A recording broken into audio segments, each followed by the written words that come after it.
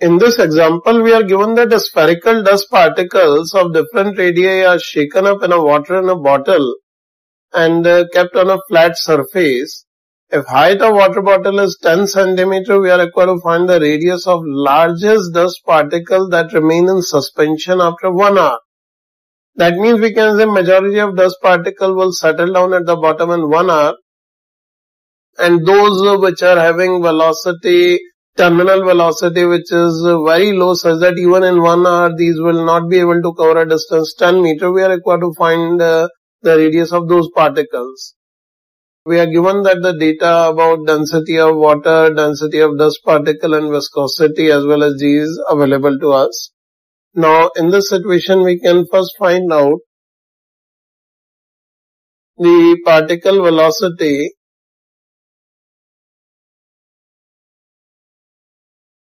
which reach particles velocity which reach bottom in 1 hour is this velocity we can find out as delta s by delta t as the distance is 10 centimeter and the time is 1 hour in seconds. We can substitute it as 0.1 by 3600 so the speed is uh, 10 to the power minus 3 by 36 meters per second. That means those particles uh, which are traveling with the speed less than this value will remain in suspension even after one hour as these won't be able to reach the bottom. And uh, as we know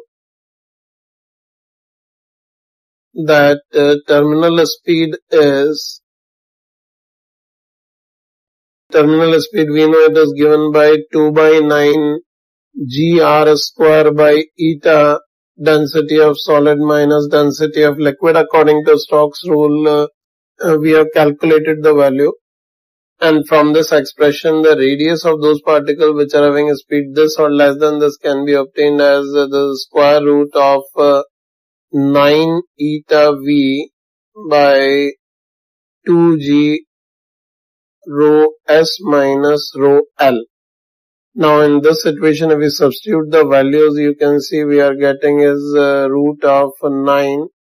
Eta, we are given that it is 10 to power minus 2 poise and uh, here in SI unit we need to substitute the value of eta in poiseuille. So it will be 10 to power minus 3 poiseuille multiplied by speed. Uh, we are given, uh, we already calculated as 10 to power minus 3 by 36 divided by twice of g is 10 and density of dust particle minus density of liquid we can calculate 1800 minus 1000 it will be 800 when we simplify the calculation uh, then after analysis we'll finally get the value of the radius as 3.95 micrometer.